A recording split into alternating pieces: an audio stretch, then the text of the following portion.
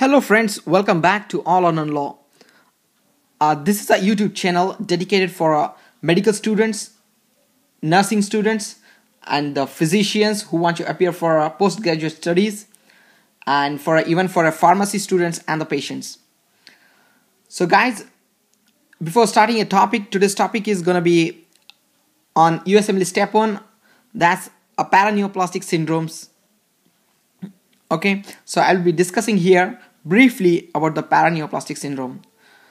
So before starting a discussion on this let me tell you about our channel. That's all or none law.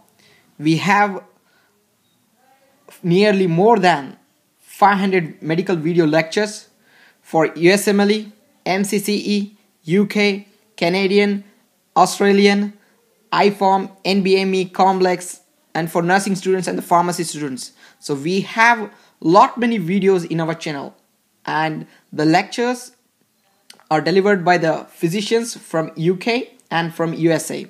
So I request you to subscribe to our channel and please do share our videos with your friends.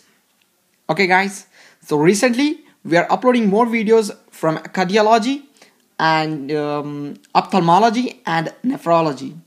So guys, please do subscribe and please share our videos with your friends. And thank you so much for those who have subscribed and who have shared our videos among your friends. Okay guys, this is about the USMLE USMLE step 1. Um, this can help uh, you guys for even for medical students and even for those who are appearing for their medical board examination um, like step one or uh, for other board examination in their country definitely it will help. And okay guys so let me start with this. This is regarding the paraneoplastic syndrome. Paraneoplastic.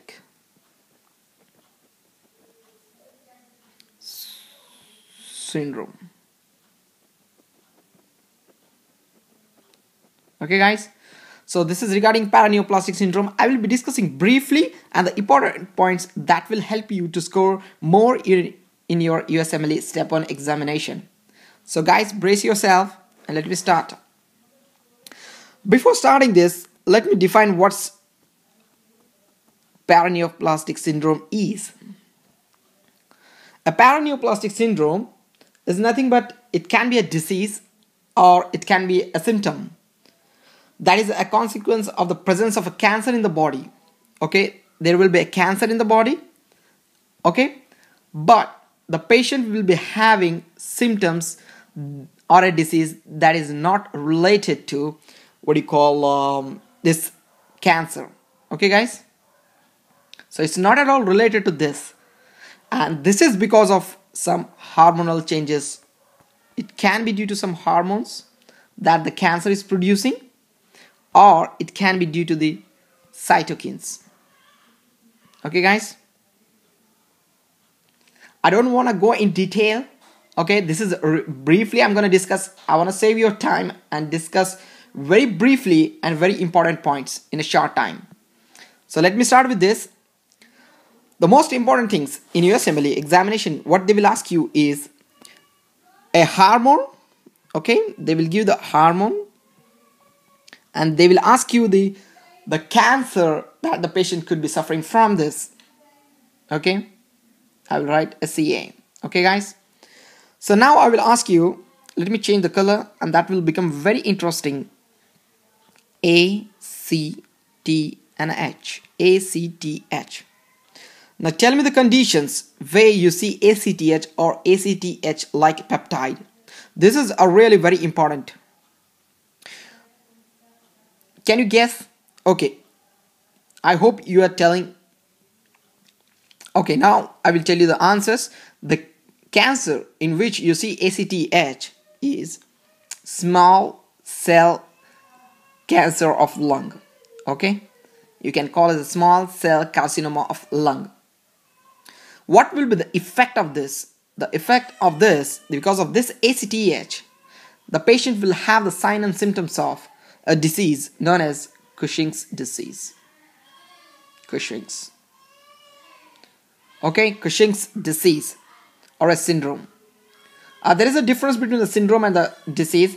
Uh, I have discussed this what is the Cushing's disease and the Cushing's syndrome uh, in my previous video. You can type over there and you can find out the answer. So let me move on to the next important what do you call um, hormone. Let me write here hormone and the cancer. Okay. See, I should have written. Let it be doesn't matter. Let me move on to the next one. I'm gonna ask you this regarding the PTH RP. Okay, that's a parathyroid hormone related peptide. So now you tell me the conditions are in a cancers. In which type of cancer do you see this PTHRP? Good. This can be seen in squamous cell carcinoma of lung. Okay, of lung. Okay, uh, it can be seen in the renal cell carcinoma.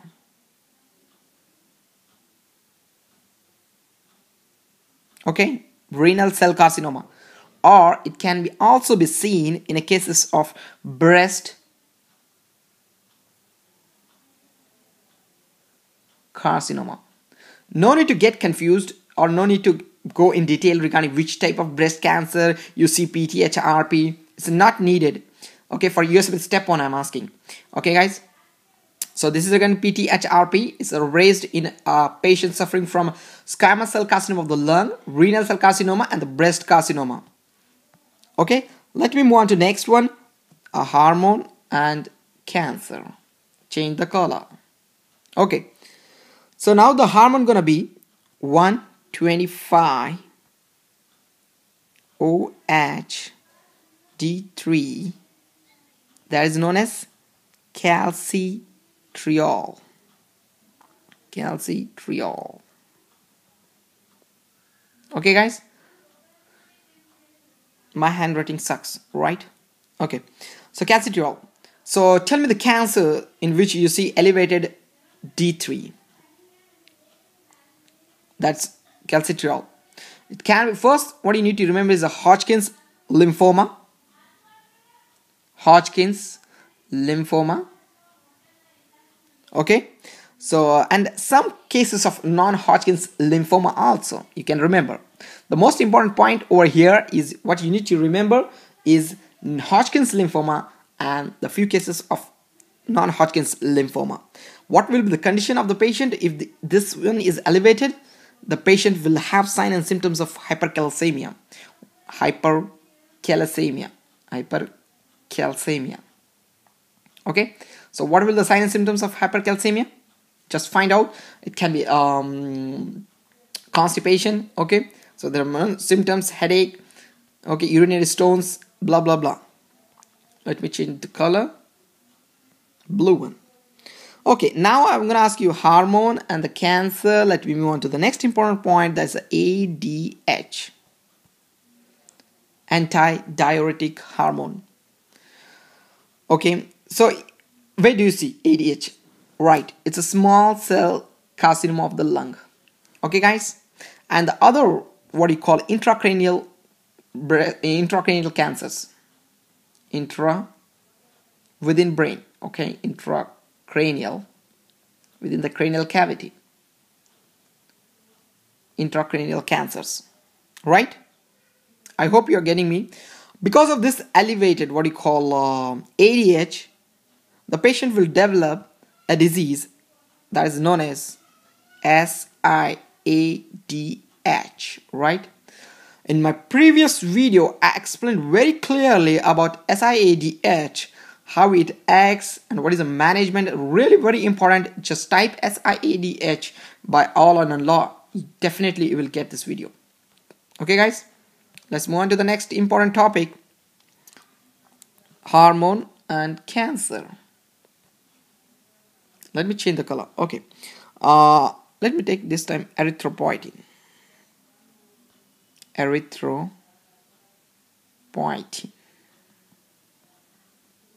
Okay. Now you tell me where do you see in conditions where you see this what you call uh, elevated erythropoietin. So most important what you need to remember is the renal cell carcinoma. Exactly, you're right. And the other cases, the other conditions, the most important is this one. Okay. The other things what you should remember is hemangioblastoma, hemangioblastoma. Okay, guys. Hepatocellular carcinoma, hep cancer. You can remember, is not hepatitis A or B. It's a hep. Um, uh, briefly, I'm telling you, this is a hepatocellular carcinoma, and the other case you can see over here is a pheochromocytoma.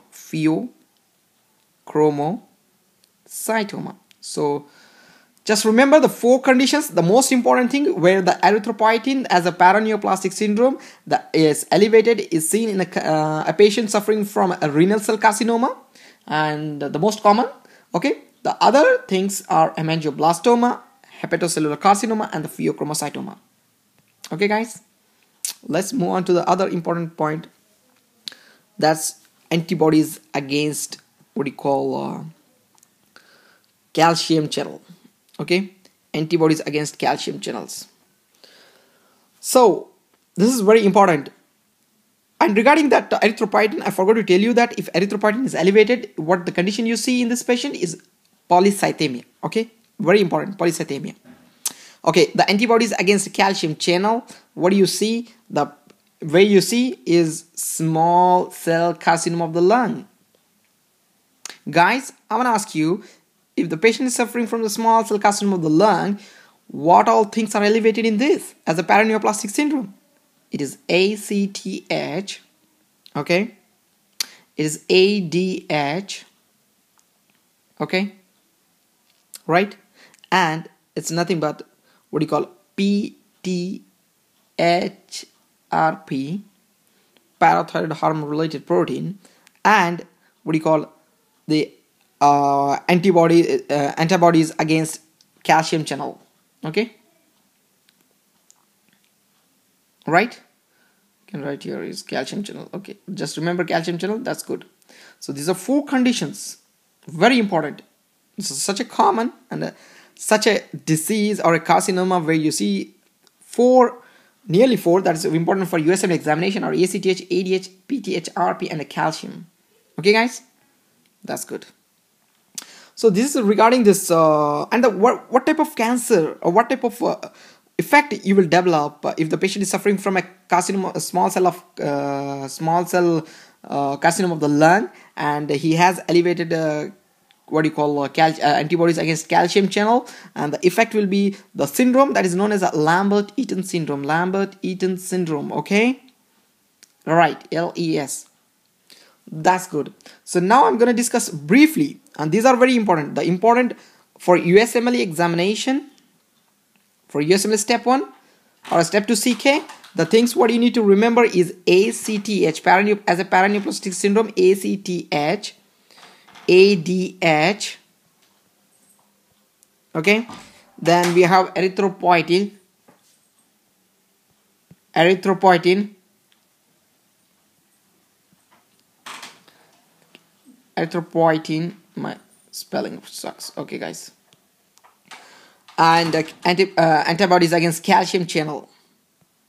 And uh, calcitriol. Very important. Okay calcitriol so these are very important for USMLE step 1